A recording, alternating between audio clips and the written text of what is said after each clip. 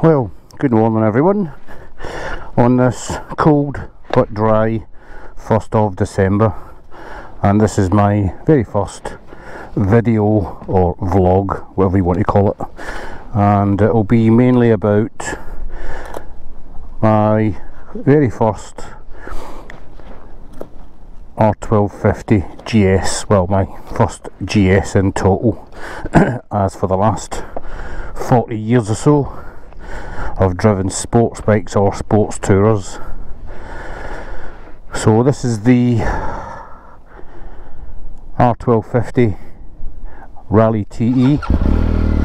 It is the low chassis version because I am a massive 5 foot 6 inches tall which means I have to have something where I can comfortably get both feet on the ground which I can. Currently I have the suspension set in auto. So it's low chassis but it's also got the low seat. So in auto I prefer it that way because I'm comfortably got the balls of both feet on the ground. I could lower it completely to what's called on this system minimum. But I've just got a feeling that might bottom out the suspension if I hit a bump or something like that. As I said, it's my very first GS, let alone the R1250. And so far, since, oh, March, March this year, um, I've done a little over 4,000 miles in it which is actually more miles than I did on my ZZR 1100 in the three years that I owned it from new.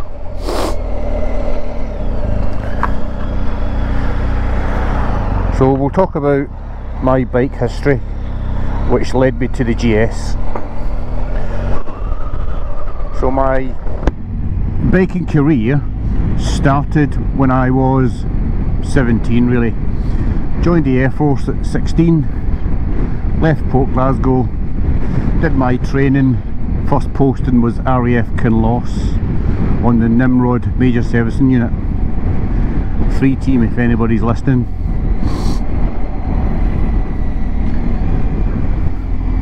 Was still only 16 and I bought my first motorbike which was a Yamaha DT250 and yes I know I was only 16 because I bought it as a bit of a do-upper because I couldn't afford a proper bike or a new one on a very little wage in 1980 so I bought a Yamaha DT250 did a load of work to it and get it on the road just at the point where I was 17 including the swing arm repair because whoever had it before me I don't know how they managed it or why they did it. This the swing arm pivot bolt which as we all know should go all the way through and be attached by a nut at the other end. Somebody had removed that and they drifted in two separate bars meeting in the middle. Not attached in any way just meeting in the middle. And I only knew that when I decided to take it all apart before I put it on the road. As an aircraft engineer I thought I'll do a proper job and just inspect things before I go wanging down the road which was fortunate for me. So a new pivot bolt was purchased as well as other things. Bit of a paint job thanks to the painters in the MU and I was on the road it still had knobbly tyres on it, um, which I was not a fan of, never have been. So when I was going around a corner, try to treat it like it's like a sports bike or something, it would just drift on one occasion to the opposite side of the road. And I thought, nah, this is not for me. It was great to go down Findhorn on the beach, but I wanted to drive it on the road. So after three months, I got rid of that, made a bit of money on it because I'd done it up and I bought my first proper motorbike which was a six month old Yamaha RD250F black and yellow Kenny Roberts colours awesome bike.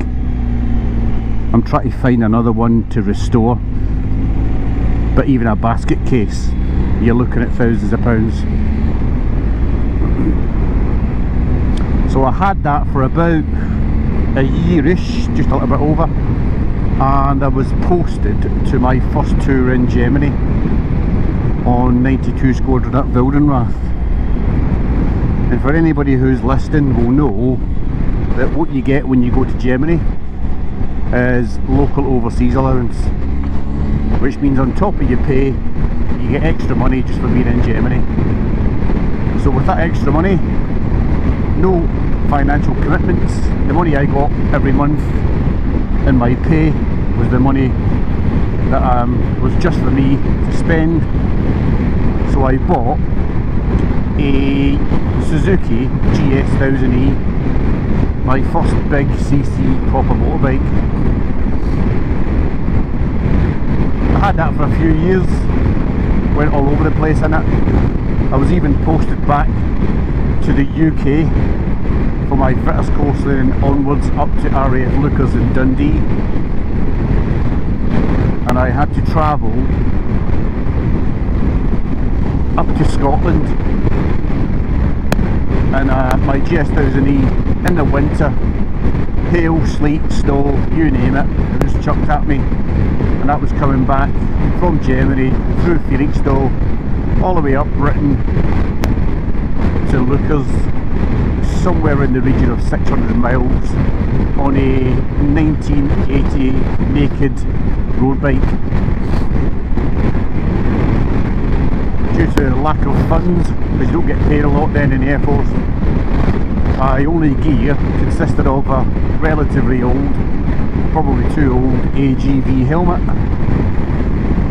a poor quality leather jacket average gloves normal jeans and a set of boots, you know the ones that you used to put white socks under and then tuck them over the top, that was my biking gear in 1983 when I returned from Germany to Leuchars via my fitters course.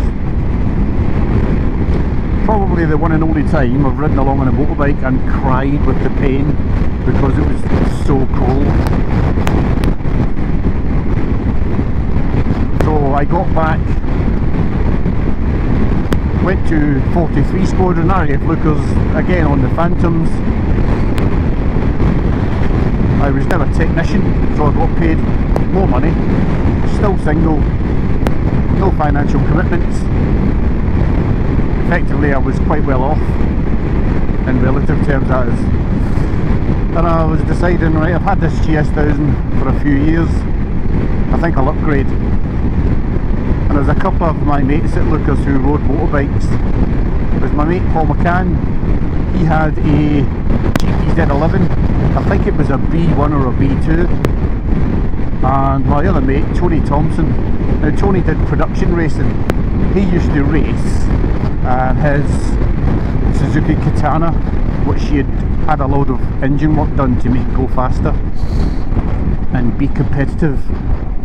Tony said to me, because he knew I was going to get a new bike, why don't you look at the new GPZ 900? They've just come out and they're beating everything.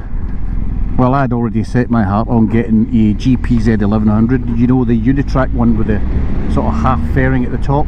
I decided I was just going to get one of those, and I tend to kind of stick with my plans. But anyway, I went to a launch evening for a Kawasaki a bike shop in Dundee called Jack Gow's G-O-W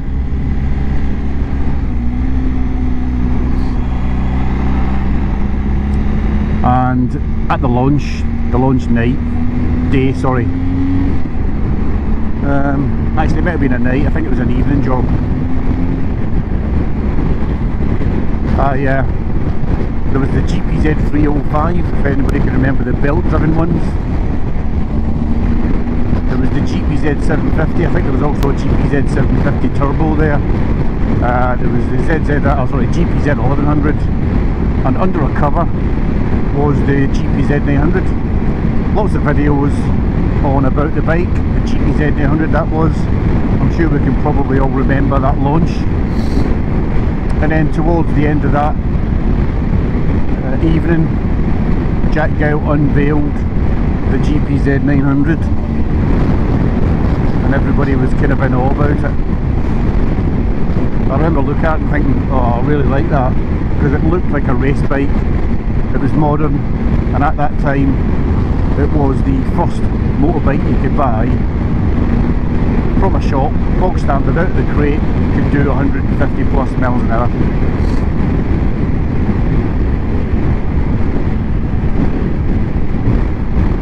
So Jack Gow told me um, that he couldn't let me have a test drive of it because he had that was his personal bike and he was racing it in the Isle of Man a few months later. I was almost disappointed really thinking well I'm not going to spend I think it was £3,400 then in 1984 for a GPZ 900 I'm not going to pay that sort of money without test riding it. So Jack says well what we'll do is I'll take you on the back.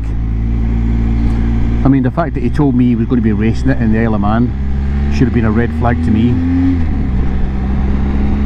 about how fast he would go. But I, I said yeah let's do that.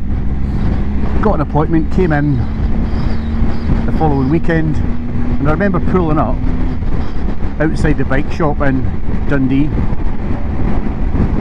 Jack Gow standing at the entrance to the workshop sees me, he waves, goes back into the workshop to get his gear and I wait outside. A couple of minutes later he reappears and he's wearing if anybody can remember them brown dust coats that workshop mechanics and engineers used to wear in the old workshops. So he's wearing a brown dust coat, he had a piss pot helmet and a set of gauntlets. and I remember thinking then, what is the point in me going out on this motorbike which is so fast with an old duffer like him in a dust coat? Because at the time I think Jack probably would have been around well probably late 40s early 50s I could get I could be wrong but he was about that age I'm sure. And I was only 20 so you know what it's like. As far as I was concerned I knew everything. So I get on the back of this Jeep GPZ 900 still kind of disappointed. And we set off and from that minute onwards I have never been so frightened in all my life because Jack Gow rode that GPZ 900 like he stole it. Considering the fact that he said he was actually trying to run it in because it had all this new anti-dive technology all that sort of thing. It was brand new out of the box. It kind of did everything it said it did.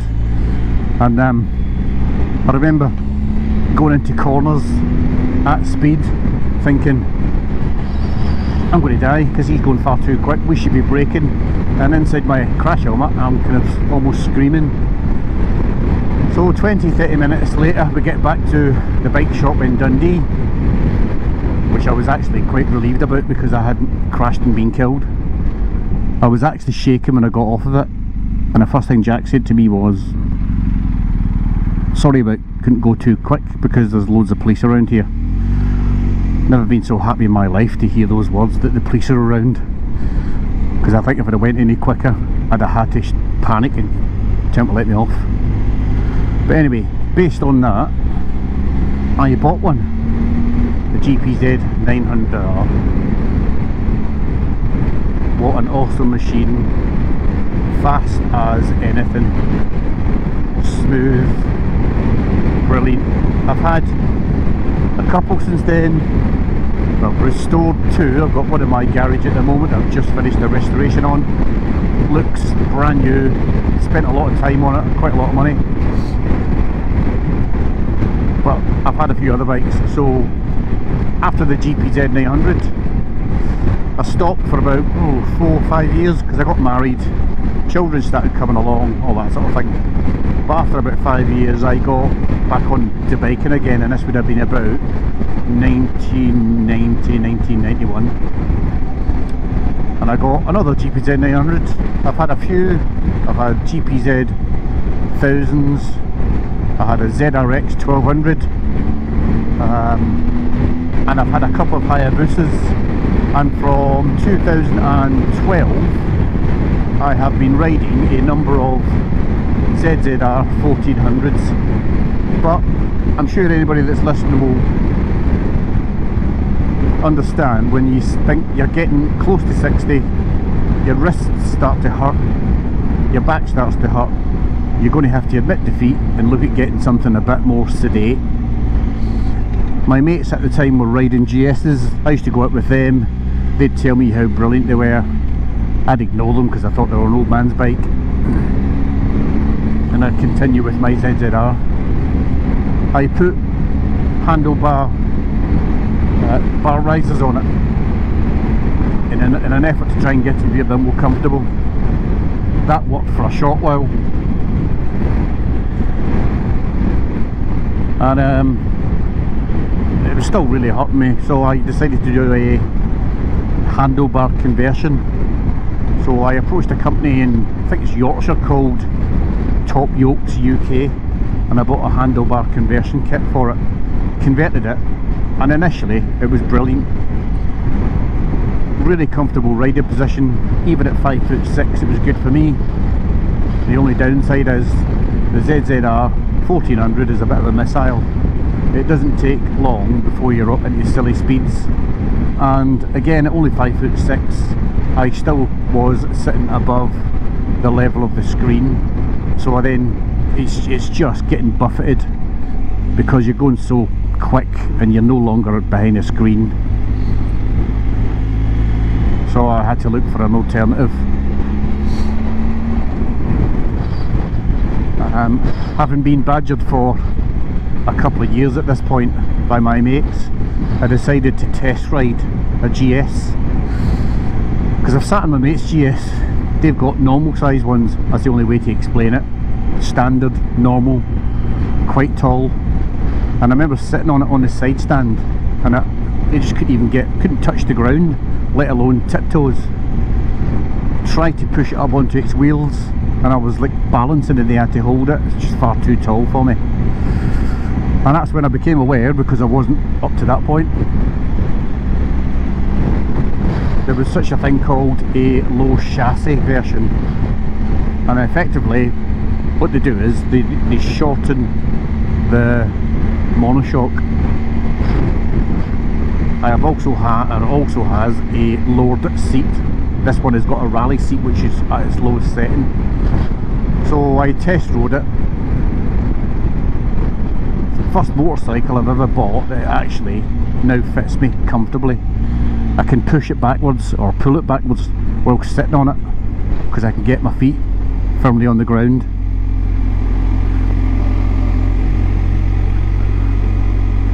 and um, we'll talk about the bike now then having had that history. So as I said if I lower it fully on this switch here on the left put it to minimum.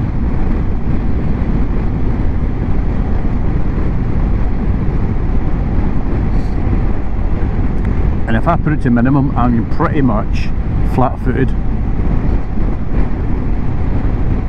but I don't want to do that because I just I'm just not sure if you're at its minimum stroke and you hit a bump that it just might bottom out. I know it's automatic and it, all, it does everything for you but I've put it on the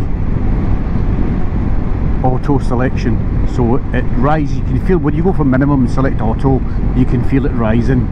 And that puts me to the sort of balls of my feet which I'm more than happy with more than comfortable with if I ever get in a position where I need to manoeuvre it backwards I'll either just get off it and pull it backwards or I'll get the system and I'll just put it to minimum and, and do it by sitting astride it. Now in terms of handling I'll be honest I was a bit sceptical. I always viewed the GS as a bit of an old man's bike because you do see these people that ride around on them and they're like 90 years old and they just don't look very sporting. How wrong was I? I've now had this bike for six months or so. Did just over 4,000 miles on it out on it on every opportunity I can. Even like today the roads are not too bad. It's a little bit cold. I've not even got the heated grips on but it is 9 degrees. And very recently as in I think it was beginning of October I did a round trip down to Wales with a couple of my mates so two days 650 miles awesome roads. We managed to get into Wales and the sun came out and the roads around Wales are like Scotland really when the weather's good, they're just awesome. And this thing could go into and come out of corners like I've never known. I'm not going to say it's as quick as my ZZR 1400s because it's clearly not. It is not as nimble through the corners. However it is more than capable. I've got the standard tyres on at the moment. I intend to fit a set of road road 5 trials trails and that's recommendations from somebody as well as looking at reviews on YouTube. And that'll be in preparation for our planned trip to Picos de Europa next May group of six at the moment, might climb to eight, but at the moment currently there's six of us, which is probably a good size group. So we're doing the Picos de Europa, we've managed to secure a villa as a base. We'll do Plymouth, Santander, a couple of hours on the other side to the base, and then days out from that base. Managed to get a really nice villa, a room each, and it's got its own underground garage. So the bikes will be secure at night. Really looking forward to it. And the only thing I'll get for this now is I said um, those tyres because I want it to be a bit sticky tyres. It's not going to go off-road. Um, and then we'll see where we go.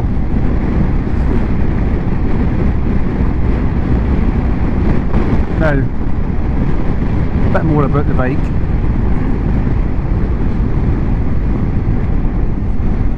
Have I never rode a GS before? Pretty much every day for several weeks of having it.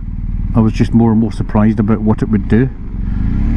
And I know some people refer to them as tractors and stuff like that and part of me agrees with them because in comparison to a large inline 4 Japanese super smooth bike it is a tractor comparatively however it's got tons of grunt.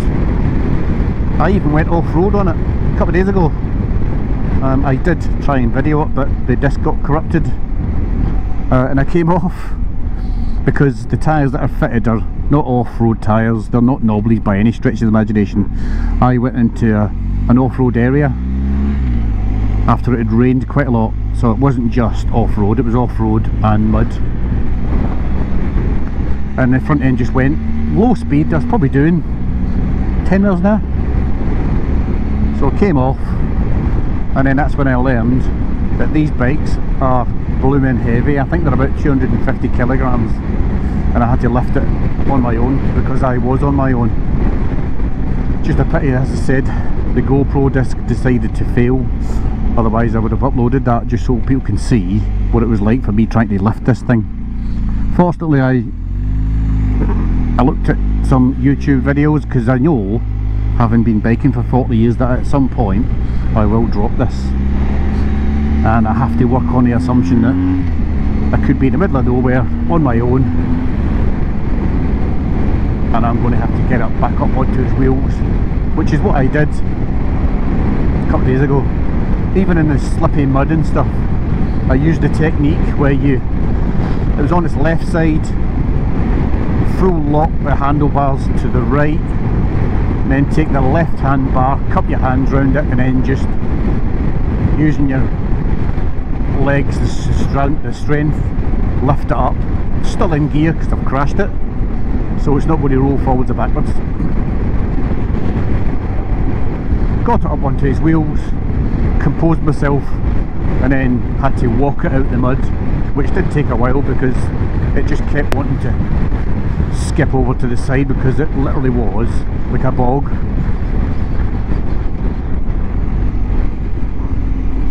And I got it back home and probably spent about two hours cleaning it. No damage.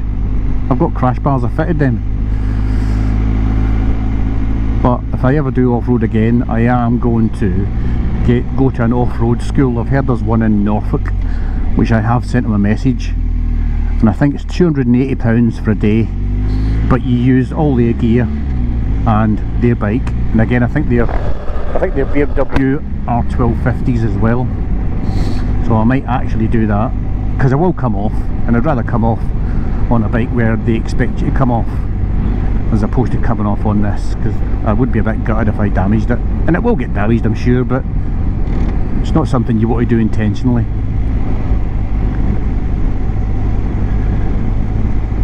So let's talk a bit more about the 1250 um, the only things that I've added to it, let me list them. First things first was crash bars. I fitted lower and upper crash bars. Lower ones were a given really because as everybody knows if you look down you can see how far the engine sticks out. Without crash bars if you come off even at a moderately low speed you run the risk of wrecking that. So that was purchased before us even got the bike um, upper crash bars I decided to get them. I, didn't, I was debating whether they were necessary. I see that other people have them. I thought right I'll get them because they're going to at least as protection. And then this off I had the other day in the mud. Well that they paid for themselves then. So I bought some crash bars uh, I bought luggage because I've been camping in summer down the Cotswolds, Cheddar Gorge, that sort of thing. On this took loads of stuff including the tent. And you could tour on it all day which I did. I've been to Wales in it took all my stuff in it as well. I bought a headlight protector. Bought a sat nav for obvious reasons. You can't do what I used to do when I was a youngster before they had sat navs and stuff. I had to memorise my route. I'm getting too old for that stuff now so I bought a sat nav. I bought a used nav 5 and it does everything for me. Uh, what else have I done? I think the only other thing I've done is I've put and the CAN bus used to be there. I've swapped that out and I put in two USB connectors. And that's to power my phone when I'm on tour. Power the GoPro because the GoPro battery is not brilliant. And that's pretty much all I've done. Now my vlog hopefully I've got the right setup here. You'll see it's a GoPro Hero 7 Black. Bought it off a mate who'd hardly used it I've got a chin mount from the company, I think they're actually called chin mounts. I've seen them on Facebook, did a bit of research bought one from the company and I've you get one which is helmet specific. I have a Shoei Neotech 2 modular helmet and it fits on that just below the mechanism you select to raise the chin bar. It gets in the way slightly but I think it's a good compromise because I wanted it exactly where it is now because I think you get a better overall view. I then bought the GoPro's external mic adapter. I mean that was 50 quid. I think I paid 100 quid for uh, the GoPro and a load of stuff. And then I paid 50 quid just for the external mic adapter. It's a lot of money. And then what I've done is a bit of research on YouTube I've got a battery bank which was initially for the phone but I've taken the battery out the GoPro and I've fitted the battery bank. And I don't know how long it will last. I think it's going to be significantly longer than the GoPro battery I know that for sure but I don't know what sort of time duration that will be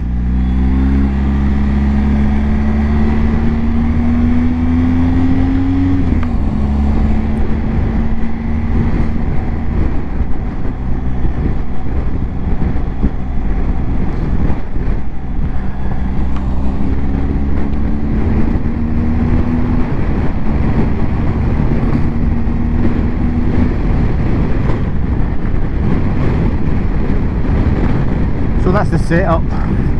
I've tried it a couple of times. Keep having little issues because I am rubbish with technology. But as it stands at the moment it all appears to be working. So GoPro Hero 7 Black got a SanDisk which is um, a specific one and it now escapes me. It's not the Ultra. Don't get the Ultra. It's the other type. There only is two so it's not the Ultra. Uh, the external mic adapter and a lavalier mic with I think they call it a dead cat to reduce the wind noise. And my intention is when I go to the Picos I'll do a little bit more vlogging but I'll also attach the GoPro to the bike. I've already got an adapter on there. It's going to be down here and then I can power it from the USB so we don't have to worry about running out of battery because I should imagine when we go out for the day we're probably going to be out all day. And a GoPro battery uh, on the Hero 7 lasts 40 minutes or so ish but that's just not enough time. Uh, I've since found out because I, I, I learn a lot of stuff off YouTube from various people that the GoPro, I think GoPro, all of them, regardless of which one it is, but certainly the, the Hero 7, it will record in 10 minute-ish sections. I think they're called chapters. And that, that's to save data, prevent loss and everything, all that sort of thing. So I've had to download a soft bit of software, a video editing software on my computer at home. And I think it's called VSCS or something like that. So what you then do is you upload your footage and then you kind of stitch them together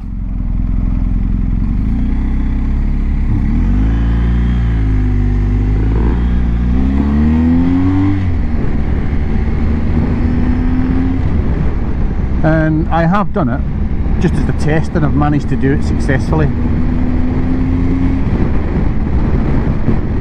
So what I'll do if I'm still recording, I think I'm still recording. I'm still recording. I'll do that. To, well this evening. And I'll try and get this footage all put together so that you won't see the joins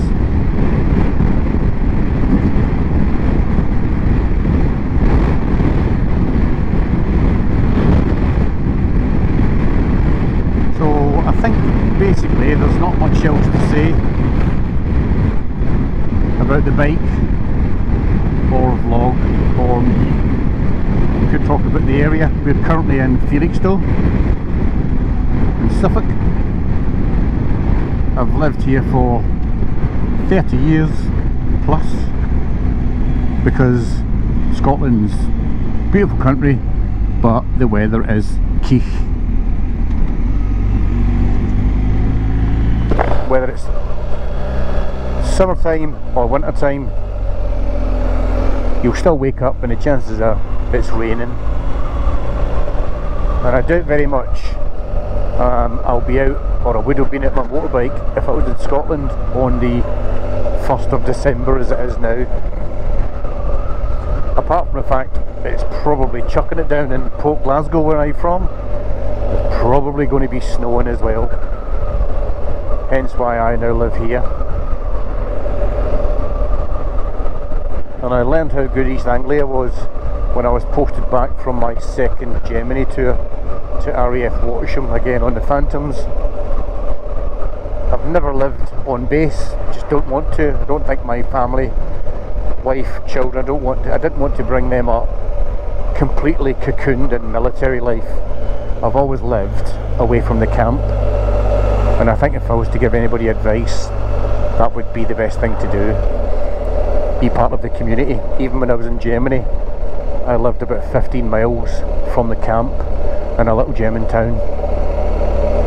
So posted back from Germany on my second tour to Wattisham lived at Felixstowe I think it's about 28 miles from Felixstowe to Wattisham so it was a bit of a trek in the morning to get to work but the upside is you're in the community my wife managed to find a job two daughters still live here with their own children they love it so much.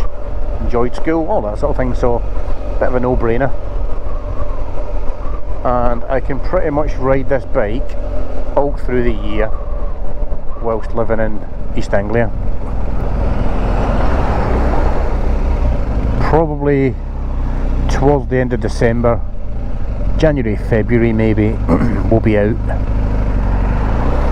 Because we do get snow and bad weather down here. But I would expect that in January, February. I don't mind laying it up for that sort of time. There'll be an odd day where I could probably still go out in it. In January and February because it, it doesn't last the whole of January and February. But I kind of mentally write them off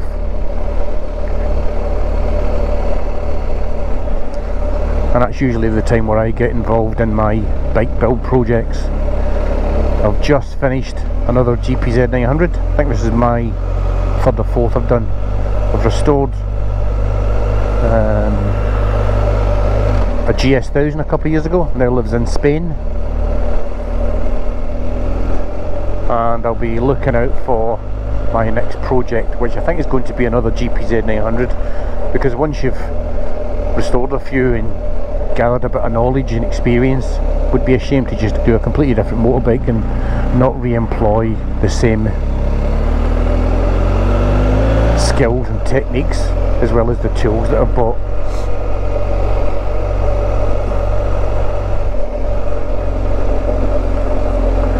I would like to do an RD250 um, air-cooled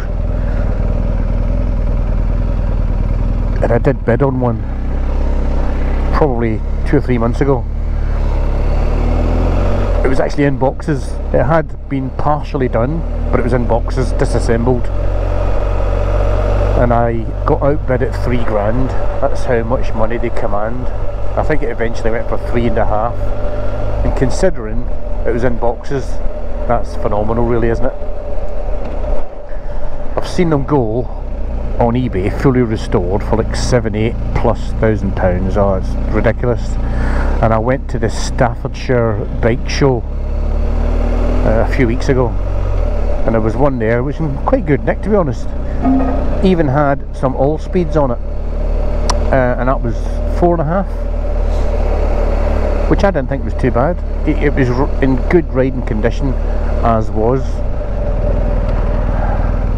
But I just thought, what's the point? I, I buy it because I want to take it apart and, and do it up and properly get it restored. So if I spent four and a half thousand pounds and then undid what somebody had already done, I'd really just devalue it or lose money. I don't expect to make loads of money on my bike projects, but it would be foolish to lose money. I was well taking money out into the back garden and setting fire to it. At the most I'd be happy to do is break even as long as it went to a good home. Because when I do a bike it's a complete nut and bolt job. And the fun is in the building not the riding because whilst I love for example the GPZ 900 it's still 30 plus years old technology. Normally aspirated carburetors which have issues. Um, normal suspension not electronics it doesn't adjust things on the move. All that sort of stuff. Your radiates they'll almost seat your pants job.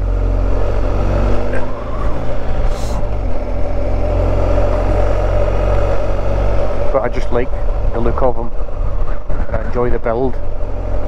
The last one I've done caused me the most amount of problems because I think the engine was out about three times. Because every time I put it back in, another fault would develop. But I've managed to get it to the point now where it's everything's working. And it's looking really good.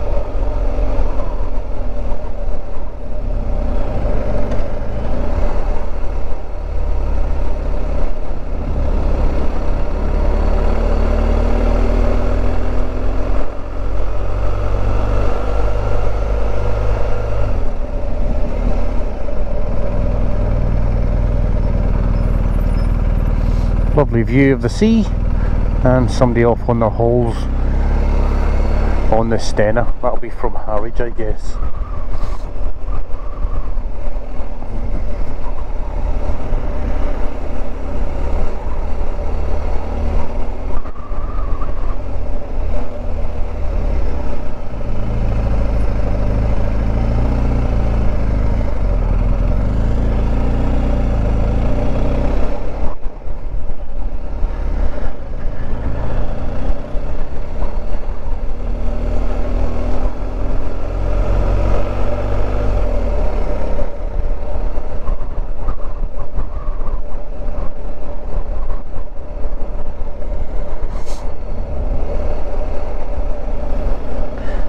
really 15 miles an hour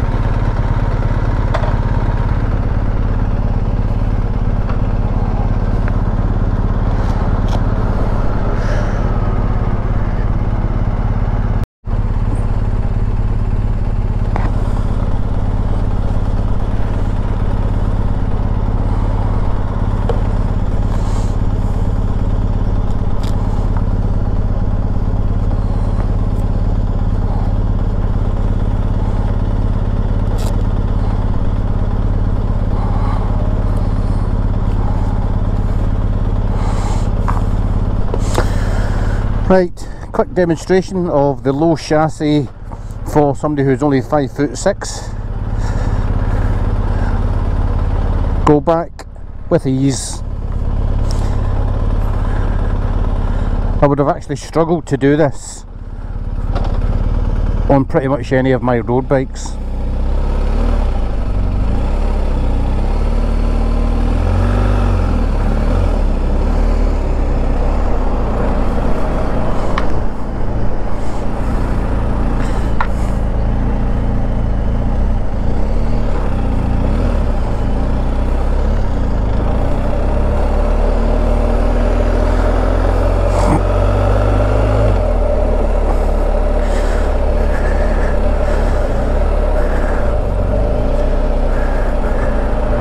Can't believe how nice a day it is for the 1st of December. Now if you send a message to my mates in Scotland to ask them how wet and cold they are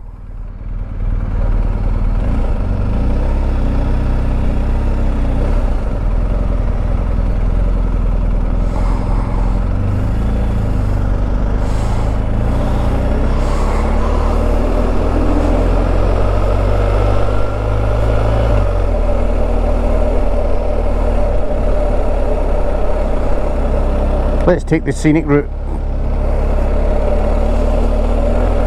Actually looks quite nice, doesn't it?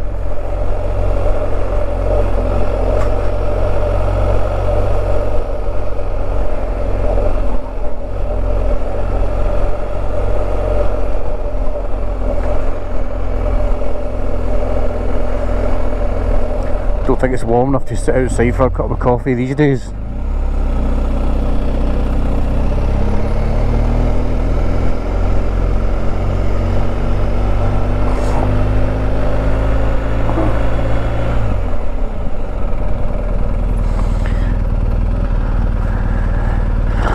Another good thing about the uh, GS, hill hold.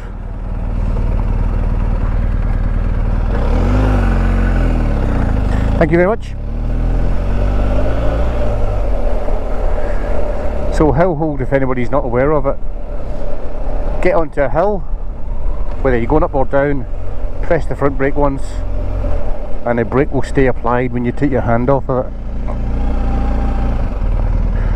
And then you can either accelerate out of it, or if you manage to get the technique, which I think I've managed to perfect, is you depress the front lever twice in succession. And that will release the brake and you're off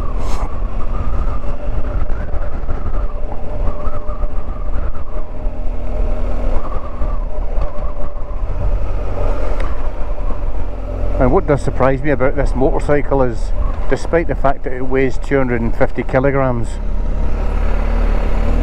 it's quite nimble even at slow speeds. Although it does lull you into a false sense of security because you kind of forget how heavy it is and you might just do things on it which could cause it to tip over. And I've learned myself they are bloody heavy and trying to pick one up on your own isn't easy. As well as your adrenaline's going because you've just dropped your bike.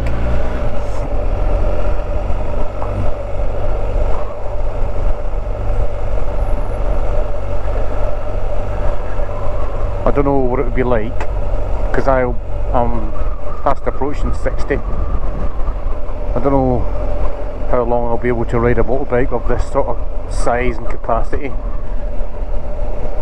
If I think I'm going to drop it because riding a bike relatively easy and if you take a, a lot of precautions just be careful watch what you're doing all that sort of thing the chances of coming off are slim however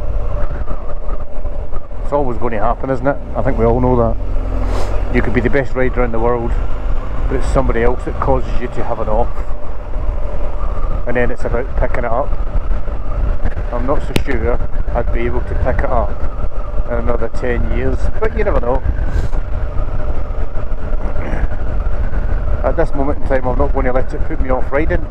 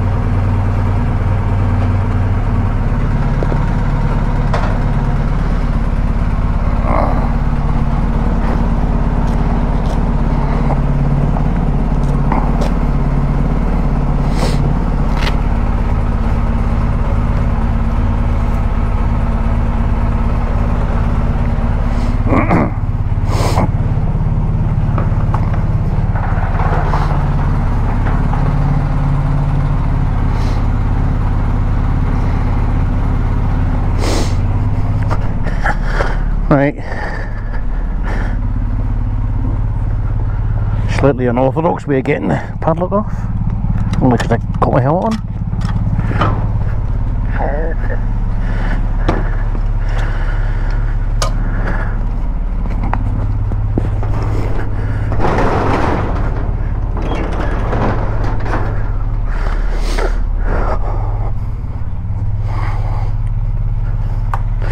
And here we have the awesome GPZ 900R. ZX9R upside down inverted forks with a ZX9R front wheel and mudguard. Converted handlebars, upright bars, new monoshock from Hyper Pro I think it was. GPZ 1000 carburetors. ZZR 600 rear wheel. Few little modifications apart from that it's bog standard. Soon to be sold to make way for the next project which is probably going to be another GPZ 900 I do like these bikes. Debating whether to MOT it and run it around for a couple of months but we'll see. Right goodbye